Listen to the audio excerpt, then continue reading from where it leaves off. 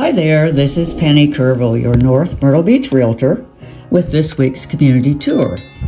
Before we get into this week's tour, however, in Little River, South Carolina, I would like to take a few minutes to give you viewers a quick market update for the Myrtle Beach real estate market.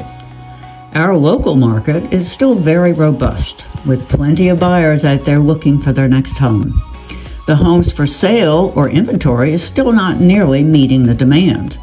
Let me give you some statistics to illustrate. Prices are slightly higher on average over prices in 2022. Days on the market averaged 100 days in February, which means buyers have plenty of time to pick and choose the home they want. Listing of homes for sale are increasing gradually, and this resembles my memory of the average real estate market prior to the pandemic.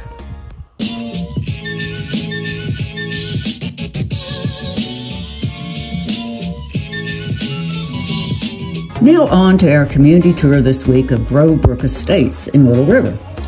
To get to this community from Highway 17 North Myrtle Beach, take the Robert Edge Parkway to Highway 90 East towards Little River. On Highway 90, drive approximately 1.2 miles to make the left into Grove Brook Estates. This community contains modest, primarily three bedroom homes with two baths, which are ranch style. These homes are built in the early 2000s and have attached garages. This is a very quiet, peaceful neighborhood located halfway between Little River and North Myrtle Beach, with access to the best of both.